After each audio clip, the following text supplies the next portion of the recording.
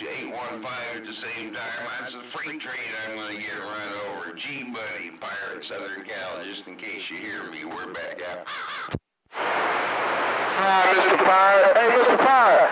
Ain't nobody but your long-time friend, G Money, and these two fields on this ground playing in Georgia. The two pills in Georgia, two pills in California, waving right back. Have a good one, G Money. Pirates listening.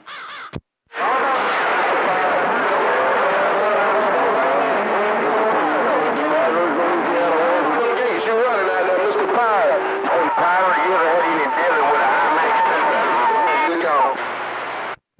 Hey, 415. I had a Sigma 5 a long time ago, and then I went to, uh, yeah, to a splatter stick, and now I got an IMAX, and I won't have anything else.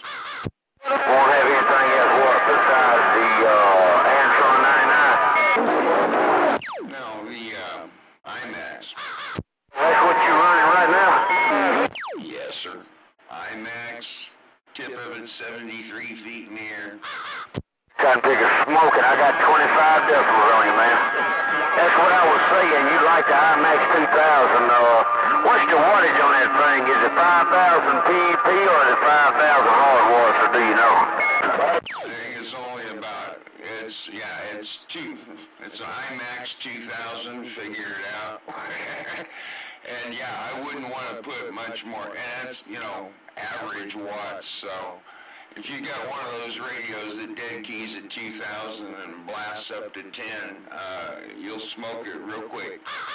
No, key about a grand and swing about 65. Key about a grand on the bird meter, swing about 65. That'd be pretty much all uh, she'd do bird watch. And IMAX won't take that, believe me.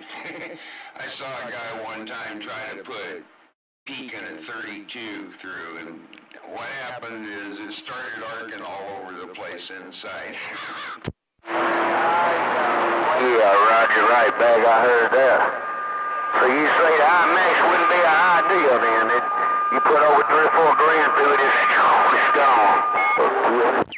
Once you, there's, it's a coil down there in the bottom, and once you throw enough power in there to cause that to short out, then you've got a path from then on from it, for it to keep shorting out, man. Yeah, that's right. Tear some things up once. It'll keep tearing some things up once. And boy, I had a friend that did that, like I said, and it's, once you break it down at the high wattage, then it might work fine at, you know, low wattage, but you start cranking it up again, it zaps over even quicker. Yeah, Roger, right back. Roger, right back. Well, I don't know, man. I don't know what I'm gonna do then. Uh, I got a Mako 5000 out here, but uh, I talked to Cotton the uh, the damn uh, what you call it, insulator that caught on fire on me with uh, about four grand going through it, so uh, that ain't good. Huh? Well, I don't know, I kinda like it when they glow blue. What do you say about blue? I said I kinda like it when the antenna glows blue. Yeah, it's got bigger turn red. Mother Nature's not in. Yeah, red's not good. Red lets the smoke out. Hey, I want to get out of here. Channel's busy. Have a good one out there, pirate. We're gonna go back. We're gonna listen and push some buttons. We're standing by. Yeah, Roger, right back. Hey, Pirate, you doing your thing, man. Hey, Pirate, you doing your thing in Mad Dog Radio, I guarantee, you, man. 20 plus all day long. Pirate Radio. My friend, number nine, Mad Dog, Big Bam, get down.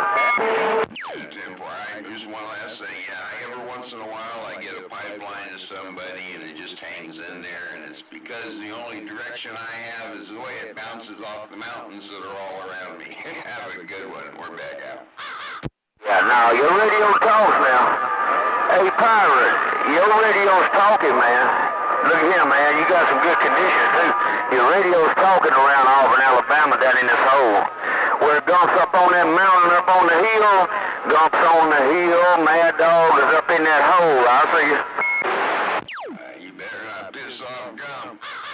Yeah. Good morning, piss on it. Louisiana waving, sir. Wave Louisiana.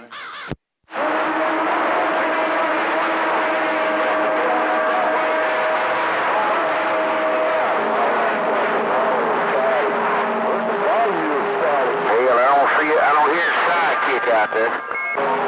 Louisiana. Bayou, Bayou country.